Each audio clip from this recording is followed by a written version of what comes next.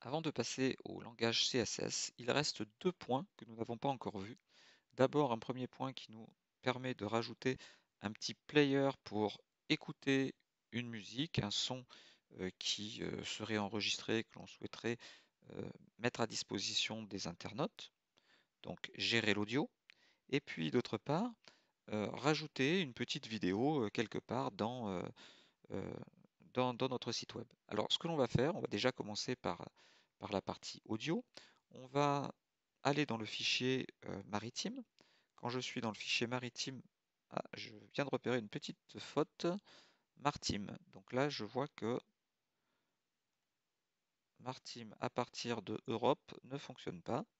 Donc des petites erreurs, on va en retrouver hein, forcément. Hein. Normalement, il faudrait tout tester. Euh, donc mon lien, il est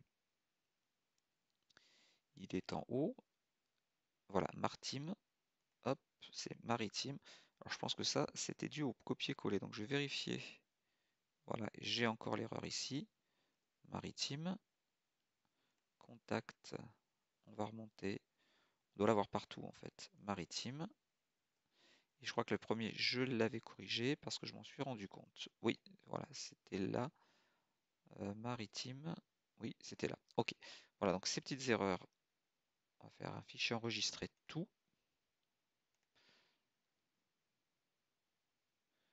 Oui. D'accord, donc là ça c'est fait.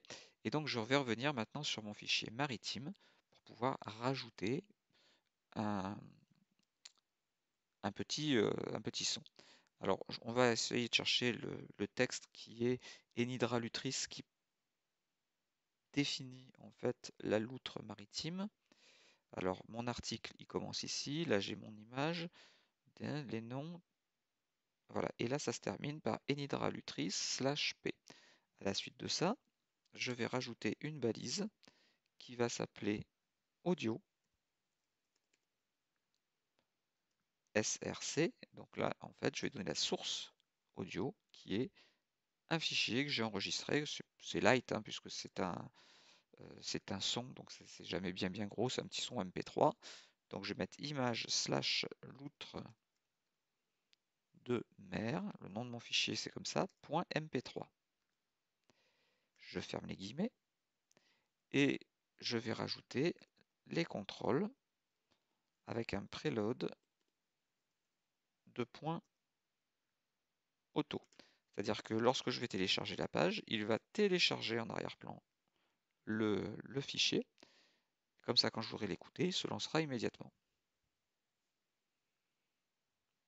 Donc je ferme mon chevron et je remets juste après un slash audio. Voilà, c'est bien une balise ouvrante et fermante, même si normalement il n'y avait pas besoin de la, fermer puisqu'on va, on va rien mettre entre, entre les deux. CTRL S, on va maintenant rebasculer sur notre page on va actualiser, on va aller sur l'outre maritime qui doit fonctionner maintenant. Et là, j'ai mon petit player qui est venu se rajouter. Et si vous le lancez, eh bien, on entendra la musique. Enfin, c'est pas une musique, mais c'est le bruit d'une loutre. Voilà comment mettre un champ sonore. On va à présent faire la même chose avec une vidéo. Pour la vidéo, eh bien, ça sera le même principe. Hein. Au lieu d'utiliser une balise audio, on utilisera une balise vidéo. Donc cette fois-ci, pour changer, on va aller dans la loutre d'Europe. Au niveau de la loutre d'Europe, on va essayer de retrouver l'information sur la taille de, la loutre. Elle mesure 1 mètre environ. Et juste en dessous, là, juste après, je voudrais rajouter une vidéo. Alors, on retourne dans Notepad++, on retourne sur europe.html, je cherche ma section article, je descends à elle mesure un mètre environ, que j'essaye de retrouver. Euh, elle doit être par ici.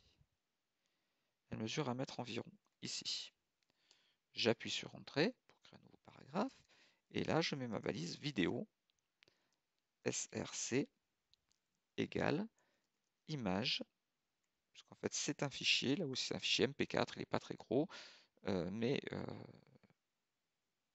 il faudra le, le télécharger quand même. Donc image loutra vidéo.mp4. Je ferme les guillemets. Et on va demander de faire afficher les contrôles. Supérieur, hop, slash vidéo. Supérieur. Voilà, donc j'ai ma balise vidéo qui permet de mettre un player vidéo. On enregistre, on actualise. J'ai donc ici ma petite vidéo qui est présente. Et si je le lance, on voit donc la vidéo qui se lance.